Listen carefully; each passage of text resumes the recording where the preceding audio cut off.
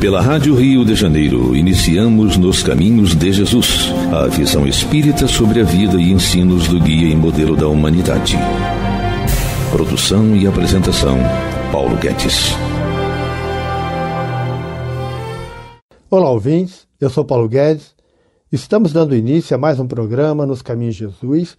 Hoje estaremos falando sobre a passagem do Evangelho de Mateus, capítulo 12, versículo 33 e 34 que fala o seguinte: considerem uma árvore boa dá bom fruto, uma árvore ruim dá fruto ruim, pois uma árvore é conhecida por seu fruto. Raça de víboras, como podem vocês que são maus dizer coisas boas? Pois a boca fala do que está cheio o coração. Mais uma vez, Jesus voltando sobre a questão do, do, do fruto da árvore ser conhecida por seu fruto. Jesus já tinha falado isso mais lá atrás e agora retorna para falar outra vez sobre o tema. São alguns temas que Jesus repetiu, porque ele quer enfatizar para nós que nós seremos conhecidos pelos nossos frutos, não pelo nosso discurso, não pela nossa aparência, não pela nossa classe social, pela nossa cor de pele, por lugar onde vivemos, pela nossa classe, nada disso, classe social, nada disso. Pelos nossos títulos, seremos conhecidos pelos frutos que estivermos produzindo. Ele deixa isso claríssimo. E ele fala de forma veemente: raça de víboras. João haveria, havia falado isso, lembrando, quando ele batizava, quando os fariseus foram lá para serem batizados. Ele falou a mesma coisa. Aí ele fala assim: Jesus fala assim: como podem vocês que são maus dizer boas coisas?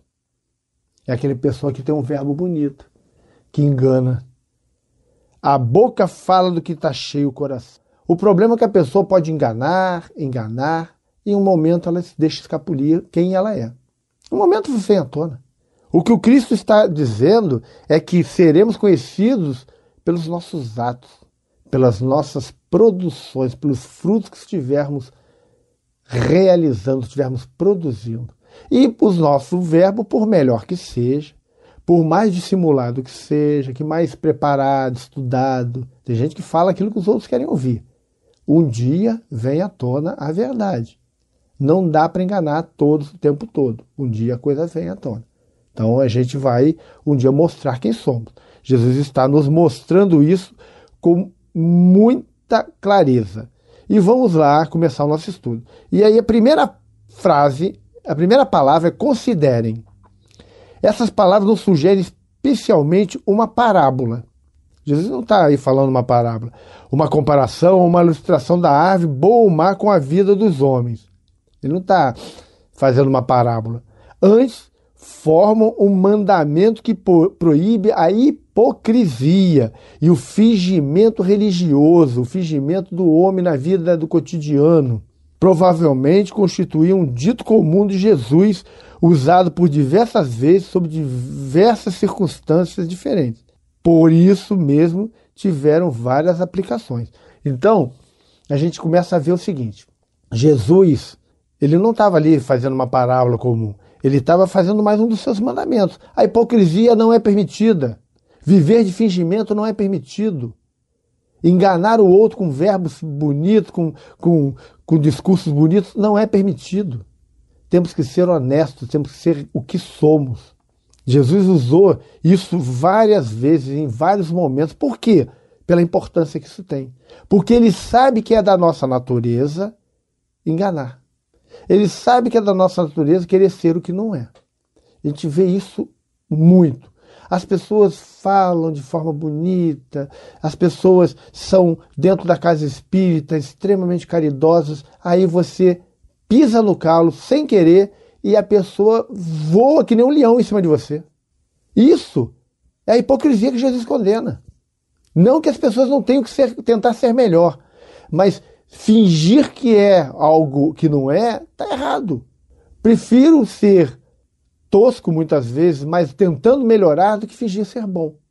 Porque quando as pessoas veem que você não é aquilo que não é nada demais, as pessoas passam a, a ver você como você realmente é. E aí elas te obrigam de alguma forma a você fazer a reforma, a você se melhorar. E as pessoas muitas vezes ficam iludidas com os dirigentes, porque falam bonito, que sobem na tribuna, fazem grandes palestras. Mas no dia a dia essas pessoas vivem a hipocrisia. Xingam todo mundo no trânsito, são déspotas dentro da sua família, maltratam esposa, filhos, são desonestos, aceitam vantagens. E aí? Aonde está a lei de Deus? No fingimento? O Cristo não aceita isso. A árvore é coerente porque produz frutos segundo a sua natureza, quer boa, quer má. Jesus está dizendo que nós temos que ser que nem a árvore. Temos que ser coerente com a nossa natureza e não fingir. Não que devemos ser maus. Não. Mas devemos mudar a maldade que está dentro da gente, lutar contra ela. Mas temos que ser quem somos. Isso é fundamental, gente. Isso está mais de acordo com os princípios gerais das obras, né? Porque falar contra o filho do homem, falar contra o Messias, é muito fácil. As pessoas falam, muitas pessoas não acreditam no Cristo, outras falam. Naquela época, então, nem se fa... não precisa nem se falar, que é, era comum. Os fariseus, então, atacavam Jesus o tempo todo. Os princípios gerais, né, as obras eram mais naquela época, porque estavam baseadas em alicerces equivocados, em atos equivocados. Jesus quis ser reconhecido tal qual era e apelou nesse sentido. Jesus era o que era. Nós, muitas vezes, fingimos ser o que não somos. Isso, gente, não está certo. Não é que você não tem que ser educado, não tem que ser polido, não é isso. Temos que ser educados, temos que ser polidos, mas sem fingimento. Lutar para ser educado, lutar para ser polido, lutar para ser honesto, lutar para ser brando, lutar. As pessoas não lutam, elas fingem. Se acomodam como são e fingem que são outra coisa. E aí não progridem. Desiludem as pessoas quando mostram seu verdadeiro caráter. A pior coisa é alguém estar tá seguindo um líder religioso e depois descobrir que ele é uma fraude. Cai o mundo. As pessoas às vezes passam a não crer na própria religião, no Deus, no próprio Deus. Porque confundem o ser errante equivocado com toda uma instituição que está por trás. Isso é um desserviço. Não podemos permitir que isso continue. Vamos às palavras-chave. Víboras, serpente, cobra. No hebraico a palavra é nahash. Tanim, cefa, sifone. Em grego, office, que significa réptil alongado, escamoso, ápode. As serpentes se locomovem sobre o ventre ou a caixa torácica, e por causa da proximidade da sua cabeça ao chão, sua língua dardejante parece lamber o pó, conforme a gente vê em Gênesis, capítulo 3, versículo 14. Há mais de 30 espécies de serpentes em Israel. Nós estamos falando de Israel. Jesus, quando usa esses termos, ele está em Israel. A palavra hebraica nahash, evidentemente, é genérica ou geral, termo aplicado a todas as serpentes ou as criaturas serpentiformes, e é frequentemente usado com outras palavras hebraicas que denotam determinada espécie de serpente.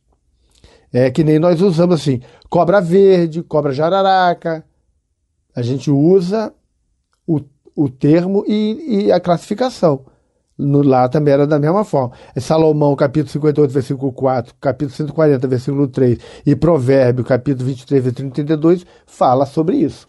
Este termo hebraico corresponde ao grego office, que também é genérico, embora serpentes Israel, muitas serpentes hoje não sejam do tipo venenoso, as referências bíblicas às cobras são principalmente com respeito às perigosas venenosas. Essas palavras são, são atribuídas às serpentes, às víboras, aquelas que eram venenosas, aquelas que faziam mal.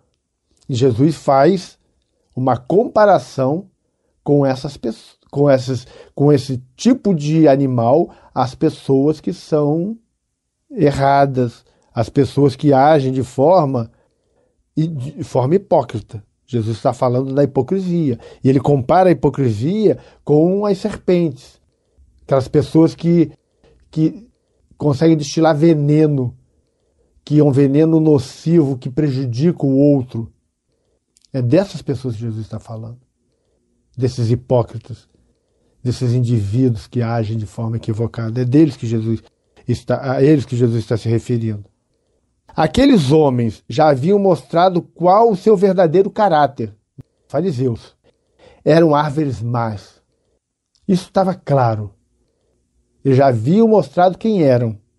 João Batista empregou essa mesma expressão, raça de víboras, contra as autoridades religiosas judeus no começo do seu ministério. A gente vê isso lá em Mateus, no capítulo 3, versículo 7. E agora as ações daqueles homens mostravam que ainda eram passíveis da mesma condenação.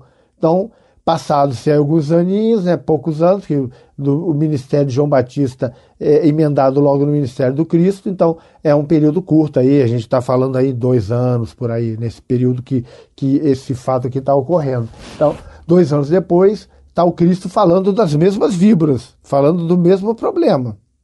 Os judeus usavam o símbolo da serpente e das plantas venenosas como sinal da má condição que a queda do homem trouxe para a humanidade inteira. Lembra a história do Adão e Eva, que o judeu acreditava? Então, é baseado no símbolo da serpente e das plantas venenosas. A serpente, portanto, seria a representação da obra maligna de Satanás, da maldade espiritual, da invasão perniciosa por parte da natureza má, por parte das forças da maldade entre os homens. A serpente tinha essa simbologia. E é ela que Jesus está usando. Jesus usa o contexto, a cultura da época para falar para um povo da época. Então ele tem que usar os termos e o entendimento da época. Ele não podia usar coisas de hoje. Ele tinha que falar de ontem, daquela época. É, vamos fazer um pequeno intervalo e já retornamos com o programa Nos Caminhos de Jesus. Até já. Estamos apresentando Nos Caminhos de Jesus, a vida e ensinos do guia e modelo da humanidade. Apresentação Paulo Guedes. Estamos de volta. Hoje estamos falando sobre a passagem do Evangelho de Mateus, capítulo 12, versículos 33 e 34. A, a passagem diz o seguinte: Considerem uma árvore boa dá bom fruto, uma árvore ruim dá fruto ruim, pois uma árvore é conhecida por seu fruto. Raça de víboras, como podem vocês que são maus dizer coisas boas? Pois a boca fala do que está cheio o coração. Jesus, mais um dos seus discursos fortes, contundentes, falando para nós, não é para o outro, é para nós, sobre a questão da hipocrisia. Nós estávamos aqui no primeiro bloco, terminando o primeiro bloco, falando sobre a questão da raça de víboras, né? estudando a terminologia, falamos aí da, da palavra nahash, e, em grego, e ofis em, em nahash em, em, hebraico, em ofis em grego, falando sobre o que, que significava, né, que era, é o, era, era serpentes venenosas, que estávamos lá citando, e aí falando sobre a questão das víboras, né, que, que eram os homens de má fé, que Jesus compara com as víboras, que aqueles homens, principalmente os fariseus, já tinham mostrado qual era o seu verdadeiro caráter, e que os judeus usavam o símbolo da serpente como sinal de má condição de vida do homem. A serpente era representava a obra maligna, a obra das trevas, a obra de Satanás, da maldade espiritual, da invasão perniciosa da, da natureza má do homem. Né? Então ele estava falando sobre isso. A gente não pode esquecer também que Satanás foi exposto como uma serpente na história da queda do homem, como um ser sutil, astuto e malicioso. Entendemos porque a serpente foi usada como um símbolo apropriado para aqueles homens que, com palavra venenosa e perniciosa, falavam contra o próprio Messias. Jesus comparou eles porque a serpente já tinha sido usada na, no, lá atrás no Velho Testamento, quando se conta a história de Adão e Eva, como a causadora da queda do homem. Porque a serpente significava né, um, podemos dizer assim, o, o animal que rastejava, que destilava veneno, que usava da maldade sempre, que era traiçoeiro. Então, Jesus usa esse mesmo termo, que era da linguagem popular, para falar sobre aqueles que o estavam acusando.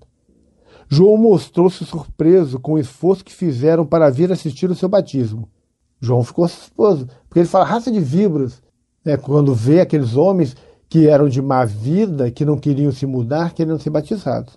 Jesus, evidentemente, considerava que aqueles homens estavam à beira da impossibilidade de receber e de praticar o arrependimento. Por isso que Jesus fala, porque já estivessem na beira do arrependimento, Jesus não teria o chamado dessa forma. Jesus os espeta para tentar trazer à tona a consciência deles e para deixar à humanidade um exemplo, uma lição de que a hipocrisia não tem espaço no reino de Deus, no reino dos céus. Não há espaço para hipócrita. O hipócrita vai viver ainda no mundo de expiação e provas, porque é o mundo condizente com a sua condição espiritual. Se nós queremos ser espíritos que vamos viver em mundos melhores, como o mundo regenerado, para cima, temos que mudar.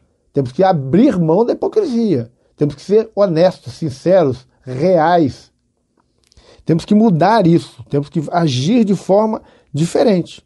Jesus fala uma coisa assim: porque a boca fala do que está cheio o coração. Uma vez mais, temos uma declaração comum nos lábios de Jesus, usada sob circunstâncias diversas. Jesus já havia falado isso.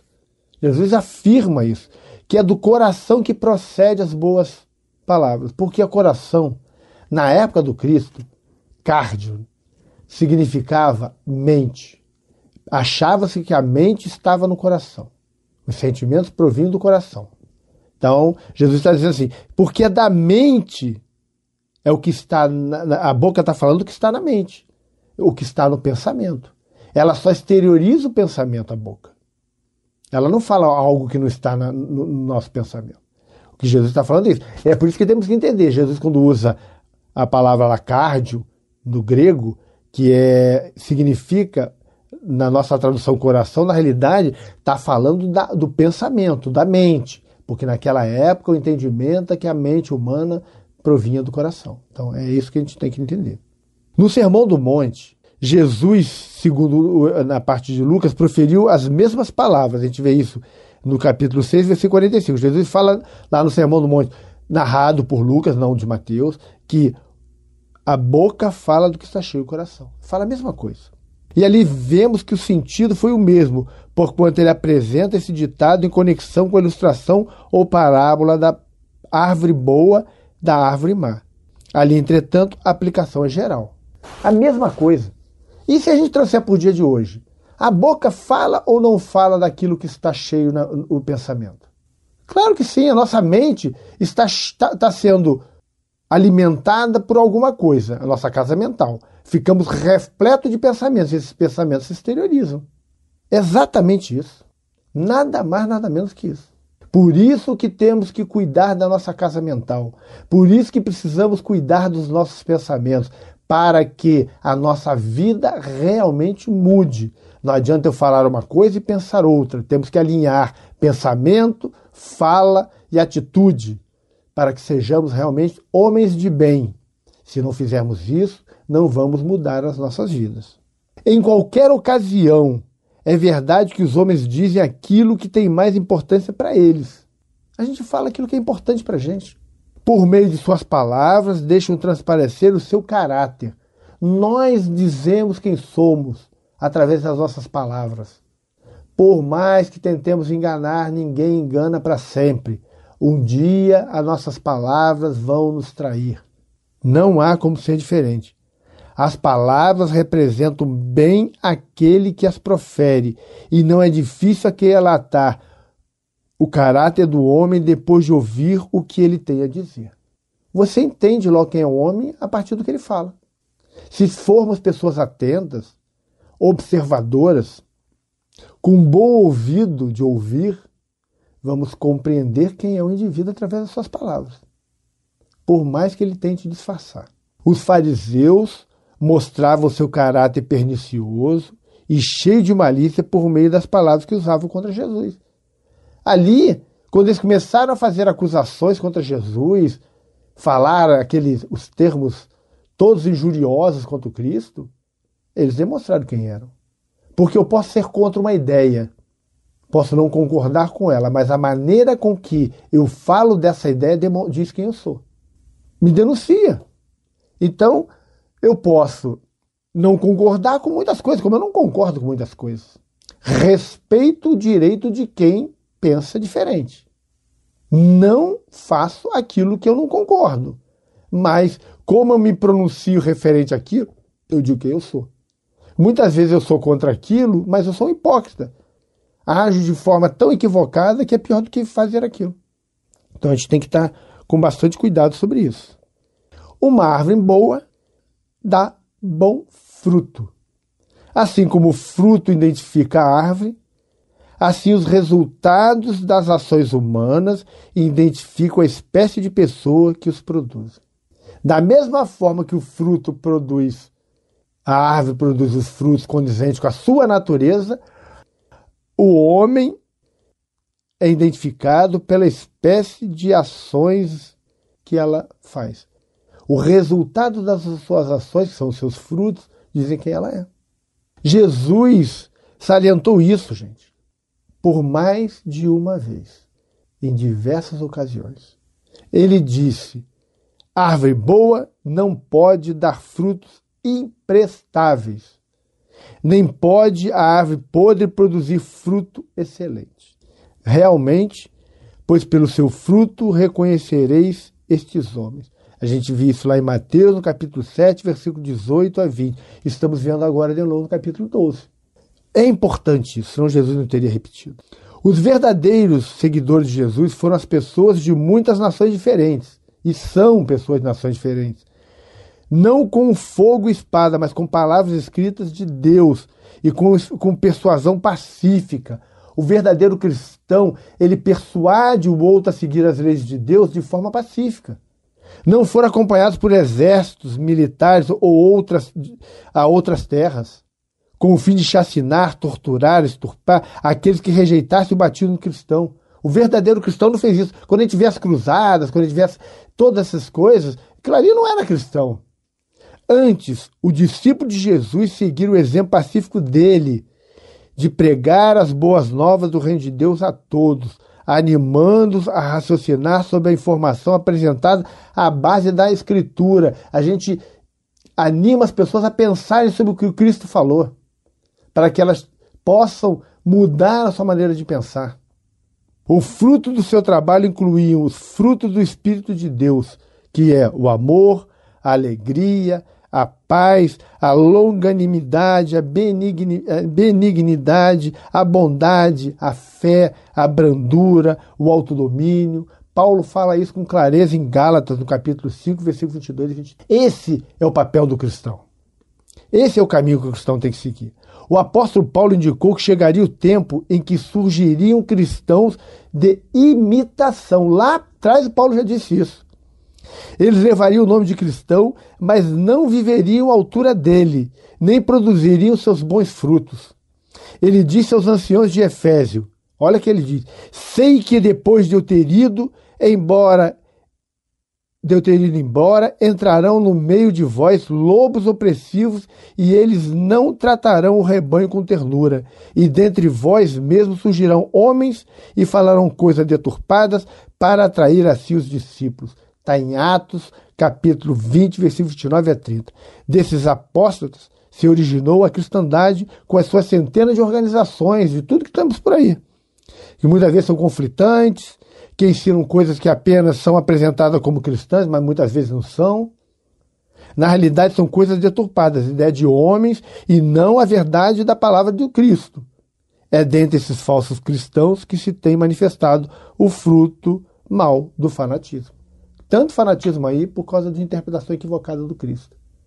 De pessoas que não procuram entender o amor do Cristo, não procuram entender tudo aquilo que está ali, ó, amor, alegria, paz, loganimidade, benignidade, bondade, fé, brandura, autodomínio.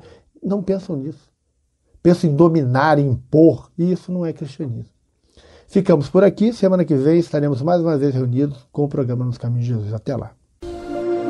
A Rádio Rio de Janeiro apresentou Nos Caminhos de Jesus, a visão espírita sobre o guia e modelo da humanidade. Produção e apresentação, Paulo Guedes.